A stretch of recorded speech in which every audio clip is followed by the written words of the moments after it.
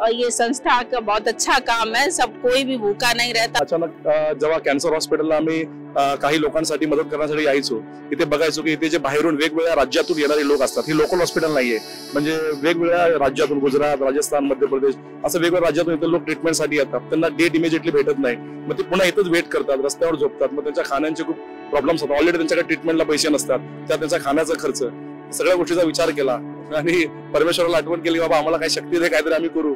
आणि असंच करता करता हे काम चालू केलं की जेणेकरून आम्ही दीडशे ते पावणे दोनशे लोकांना रोज डाळ भात चांगल्या क्वालिटीचं फूड असं आम्ही किचन टाटा कॅन्सर पेशंटसाठी ते किचन चालवतो मुफ्त.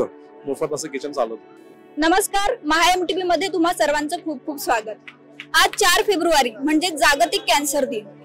या निमित्तानं आज आपण आलो आहोत मुंबईतील टाटा मेमोरियल कॅन्सर रुग्णालयात. द अँकर फाउंडेशन या संस्थेच्या माध्यमातून परेल येथील टाटा मेमोरियल कॅन्सर रुग्णालयात दरवर्षी दररोज न चुकता रुग्णांना आणि त्यांच्या नातेवाईकांना अन्नदान केले जाते. त्यानिमित्तानं आज देखील हा उपक्रम मोठ्या प्रमाणात सुरू आहे. आप इसके बारे में क्या बताना चाहेंगे? यहाँ सब कुछ अच्छा है पेशेंट को खाना मिलता है पूरा सब सब व्यवस्था रखते हैं खाना पीना सब अच्छा है और यहाँ हर एक पेशेंट को बहुत अच्छे से ट्रीट करते हैं और यहाँ का सभी अच्छा है और पेशेंट का इलाज भी खाना पानी सब सब ध्यान में रखते हैं। और ये संस्था का बहुत अच्छा काम है। सब कोई भी भूखा नहीं रहता सब अच्छे से अपना सब अच्छे से रहते हैं और खाने पीने की तो यहाँ बहुत अच्छी व्यवस्था है। और ये संस्था तो इतना ख्याल रखती है पेशेंटों का उसका कुछ कर, कह नहीं कहने तारीफ़ की बात है ये। तर आज आपल्या सोबत आहे द अँकर फाउंडेशनचे संस्थापक सचिन सोनवणे सर. सर काय सांगाल? अँकर फाउंडेशन विषयी सांगायला गेलं की आम्ही हा उप म्हणजे संस्था दोन हजार एकोणीस साली चालू केली ऑक्टोबर महिन्यामध्ये. आणि त्याच्यानंतर आम्ही जेव्हा संस्था ओपन केली तेव्हा उद्दिष्ट होतं की स्ट्रीट चिल्ड्रनसाठी काम करायचं हे त्यांच्या एज्युकेशनवर काम करायचं. मग असं ठरवलं ट्रायबल एरियामध्ये काम करायचं. पण दोन तीन महिन्यानंतर मार्च महिन्यामध्ये लॉकडाऊन चालू झाला. आणि दोन ते अडीच वर्ष अशीच गेली ना आम्हाला कोणाला भेटता आलं ना घराच्या बाहेर येता आलं.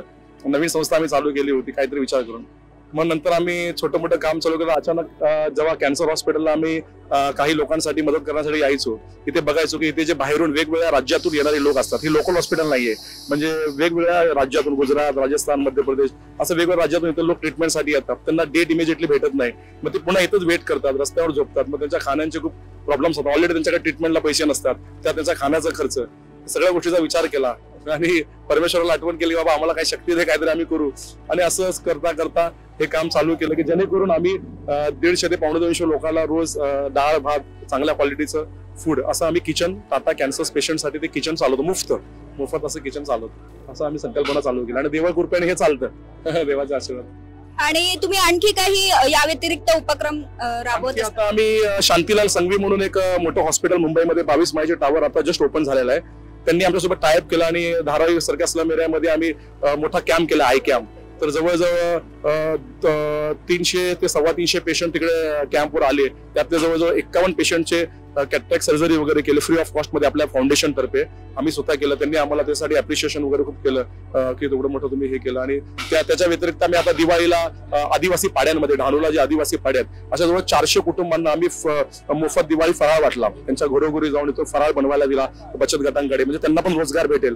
आणि त्या बचत गटातून तो फराळ बनवून आम्ही तिथपर्यंत जाऊन त्यांना पोहोचवलं त्या बिचाऱ्यांना म्हणजे तिकडे असे आम्हाला अनुभव आला की काही लोकांना करंजी आणि शंकरपाळी पण माहीत नाही. असे तिकडे बिचारी इतकी गरिबी आहे. आणि ते बघून अक्षरशः आम्हाला म्हणजे ते दुःख सांगण्यासारखं नाही आहे म्हटलं देवाला म्हणतं की एवढं काय असं? आणि तिकडे पण आम्ही असं वेगवेगळ्या जसं आम्हाला कामाची संधी भेटते देवाकडे तसं आम्ही कामं करत असतो. असं. अजून खूप काम करायचं आहे खूप काही इच्छा आहे. बघूया. आणि तुमचा मुख्य उद्देश काय आहे या सामाजिक? मुख्य उद्देश आहे की हा जो प्रकल्प आम्ही टाटा कॅन्सर हॉस्पिटलचा करतोय हा म्हणजे लाईफ टाइम चालावा. लोकांना कमीत कमी आमच्या थ्रू जे दीड दोनशे लोक जेवतात हा त्यांच्या त्यांना ते अन्न भेटावं रोज हे सगळ्यात मोठं मिशन आहे. असं ते कधी बंद नाही पडू हा एक मिशन आहे. त्याचबरोबर जे स्ट्रीट चिल्ड्रन आहे पुढे जाऊन जे स्ट्रीट चिल्ड्रन आहे जे ब्रिज खाली मुलं त्यांच्या त्यांच्यावर त्यांच्यावर पण काम करायचं त्यांना एज्युकेशन प्रोव्हाइड करणं वगैरे त्यांना चांगल्या शाळेत दाखल देणं हे पण एक इच्छा आहे. जर कधी जर देवाने संधी दिली तर त्या ते पण एक मोठं काम करायचं आहे. जसं जसं संधी भेटत तसं आम्ही काम करत आहोत. धन्यवाद सर तर तुम्हाला हा व्हिडिओ कसा वाटला ते कमेंट करून आम्हाला नक्की कळवा आणि महा एम टीव्हीच्या युट्यूब चॅनलला सबस्क्राईब करा. धन्यवाद.